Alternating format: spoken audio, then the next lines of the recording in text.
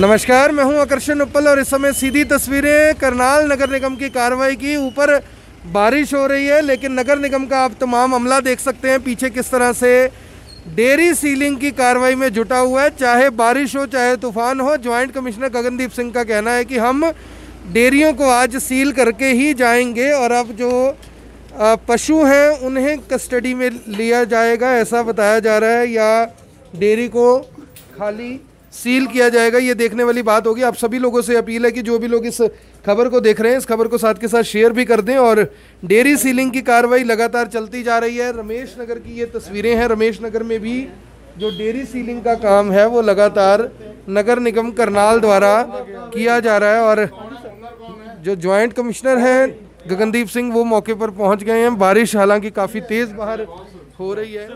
मेरी बेनती सुन लो ना। जहाँ तो आगे आगे आपका घर है? अच्छा। फिर फिर, फिर तो मेरी मजबूरी है इनको सीज करना। सर इंस्पेक्टर सर मैंने सारी भेज दी इनको गाय को। सर सर ये दो सिर्फ़ गाय तीन सर ये भी चले जाएँगी। ये दो गायें बस आपके? सर दो सर दो अंदर में ये भी चले जाएँगी सर। हैं? तीन कहाँ हैं? सर दो दो अंदर अच्छा आगे वो भी सर ये दो है सर ये इधर हाँ, एक मिनट देख लेते हैं।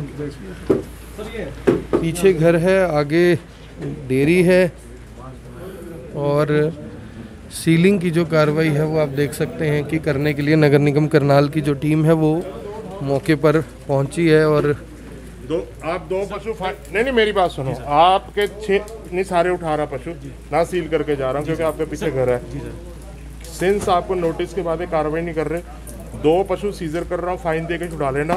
प्लस एक एफिडेविट देना कि मैंने यहाँ से पशु सारे सर मैं निकाल ही रहा हूँ सर कोई बात नहीं सर दो, के आप फाइन भर देना देखो। और दो पशुओं को हिरासत में लिया जा रहा है। भैया क्या नाम है आपका? दो दो। परवीन क्या कहना चाहेंगे? नोटिस दिया गया था सर नोटिस दिया गया था निकाल ही रहे हैं उसके बाद ही। सर सारी जा रही है नहीं सर मैं सारे पशु मेरे बाईस पशु थे सबकी सब मैंने भेज दिए पशु। बेच दिए सर सभी भेज दिए बस यहाँ काम ही छोड़ दिया सर मैंने। ये दो तीन दो पशु हैं सर वो भी जा- क्या कर रहे हैं फिर आगे काम कर सर कुछ नहीं हाथ खड़े क्या करेंगे? अकेले बंदे क्या कर सकते हैं? बिल्कुल दिक्कत परेशानी है रोजी रोटी का सवाल है कुछ भी नहीं है। तो पशु बेच दिए पशु सारे भेज दिया सर हमने। तो आप देख सकते हैं कि ये अपनी तरह की एक दिक्कत है कि 22 पशु थे 22 में से 18 पशु इन्होंने बेच दिए हैं और बाकी भी जो तीन चार पशु हैं कह रहे हैं कि मैं बेच रहा हूँ इन्हें और उनके उन्हें भी दो पशुओं को उनमें से कस्टडी में लिया जा रहा है। और उनको फाइन लगाया जाएगा। पाँच हज़ार रुपये प्रति पशु का आप सभी लोगों से ये अपील है कि जो भी लोग इस खबर को देख रहे हैं, इस खबर को शेयर ज़रूर करें। नगर निगम करनाल की बारिश में इतनी सख्त कार्रवाई आप देख सकते हैं कि चाहे और कोई काम हो ना हो, लेकिन जब कार्रवाई नगर निगम की होती है तो फिर इस तरह से हो सकती है। आम जनता के काम चाहे नगर निगम में पहली बार में हो ना हो, लेकिन नगर निगम के अधिकारी अगर पहली बार आते हैं तो अपनी कार्रवाई को पूरा ज़रूर कर कर जाते हैं। ये दिखाने और बताने की कोशिश है। सीएम सिटी करनाल की ये तस्वीरें हैं। दो पशुओं को अब हिरासत में लिया जा रहा है। दो पशु पहले से हिरासत में लिए गए हैं और जो डेयरी संचालक हैं, उनका कहना है कि मैं अब सभी पशु बेच रहा हूँ। कोई काम फ़िलहाल मेरे पास नहीं है, लेकिन मैं सभी पशु फ़िलहाल बेच रहा हूँ। बाईस पशु थे, वो मैं पहले से उनमें से काफ़ी सारा, सारे जो पशु हैं, वो बेच चुका हूँ। काम मुझे छोड़ना पड़ रहा है, क्योंकि मैं और जगह पर प्लॉट ले नहीं सकता और अब जो ये देखिए पशु है, उनको कस्टडी में लिया जा रहा है और दो पशु नगर निगम द्वारा कस्टडी में लिए जा रहे हैं। सीधी तस्वीरें करनाल के रमेश नगर से आप देख सकते हैं कि जो पशु हैं, उन्हें नगर निगम, भरी बारिश में, काफ़ी तेज़ बारिश यहाँ पर उन्हें साथ ले जाया जा रहा है और दो पशुओं को बताया जा रहा है कि कस्टडी में लिया जा रहा है। इन्हें पाँच पाँच हज़ार रुपये फ़ाइन लगाने के बाद छोड़ा जाएगा। सीधी तस्वीरें आप देख सकते हैं, करनाल से जहाँ पर सीएम सिटी करनाल में चाहे और कोई डेवलपमेंट हो या ना हो, लेकिन ये डेवलपमेंट जो ये कार्रवाई चल रही है, ये करनाल नगर निगम सीएम सिटी करनाल की कार्रवाई है, और कोई डेवलपमेंट हो या ना हो, लेकिन फ़िलहाल जो डेयरी है, उसे कहीं ना कहीं सील यहाँ पर किया जा रहा है। आप सभी लोगों से ये अपील रहेगी कि जो भी लोग इस खबर को देख रहे हैं, इस खबर को साथ के साथ शेयर ज़रूर कर दें। तीसरे यानी कि जो पशु है, उसे अपनी कस्टडी में ले लिया गया है। एक और पशु बताया जा रहा है कि दो पशु यहाँ पर भी लिए जाएँगे और श्री कृष्ण गौशाला की ये जो गाड़ी है, ये यहाँ पर लाई गई है और अब देखना होगा कि किस तरह की जो पूरी की पूरी प्रक्रिया है, ये अपनाई जाती है नगर निगम करनाल की ओर से। सीधी तस्वीरें करनाल से बड़ी संख्या में जो नगर निगम के अधिकारी हैं, कर्मचारी हैं, पुलिस बल है, यहाँ पर मौके पर पहुँचा हुआ है और लेकिन जो डेयरी संचालक है, उसने बहुत जो बात बताई, वो दुखदाई मुझे लगी कि 22 पशु थे। मैं कहीं और लेकर नहीं जा सकता था, घर मेरा पीछे है, इसलिए मैंने 22 में से सतारह, अठारह पशु बेच दिए हैं। पाँच पशु मेरे पास और हैं और उन्हें भी मैं बेच दूँगा और कुछ और काम धंधा देखूँगा, क्योंकि मेरे पास पैसा इन्वेस्ट करने के लिए नहीं है, ऐसा उनका कहना है। और नगर निगम करनाल अपनी जगह स्थिर है, उनका कहना है कि जो इस तरह से शहरों के अंदर जो डेयरियाँ बनी हैं, उन्हें बनाने की इजाज़त नहीं है। डेयरियों को शिफ्ट किया जाए। अब सवाल ये है कि, आ जाओ। और सवाल ये है कि जो शिफ्ट ये देखिए, एक और जो गाय हैं, उसे साथ लेकर जाया जा रहा है नगर निगम द्वारा और डेयरी संचालक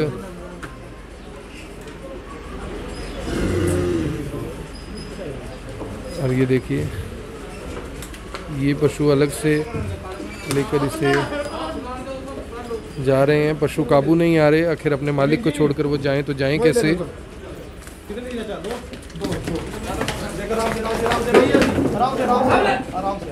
आप देख सकते हैं कि काफ़ी ज़्यादा दिक्कत भरा माहौल। नोटिस लो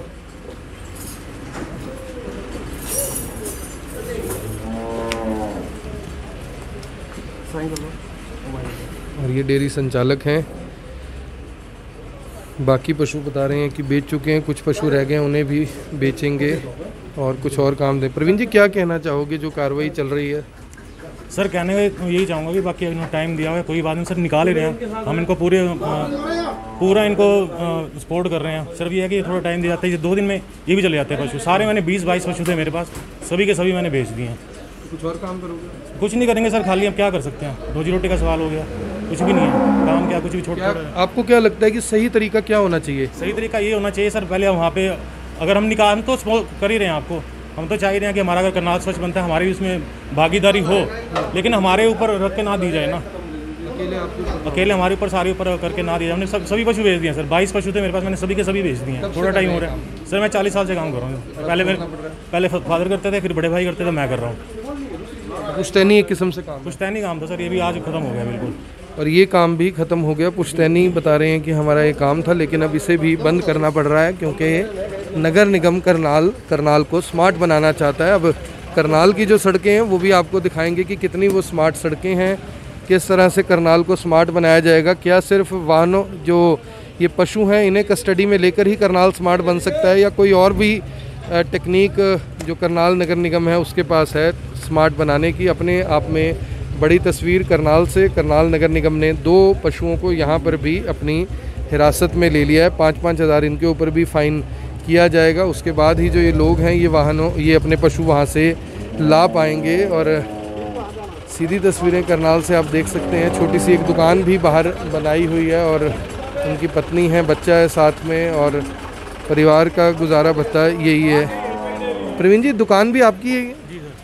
यही सर, ब्रदर की दुकान है, छोटे भाई की दुकान है और आप देख सकते हैं कि छोटी सी एक दुकान भी है जिससे गुजारा बसर फ़िलहाल चल जाता था, लेकिन अब जो डेयरी है वो कम से कम बंद की जाएगी। छोटा सा बच्चा भी गोद में है और कुछ कहना चाहोगे आप?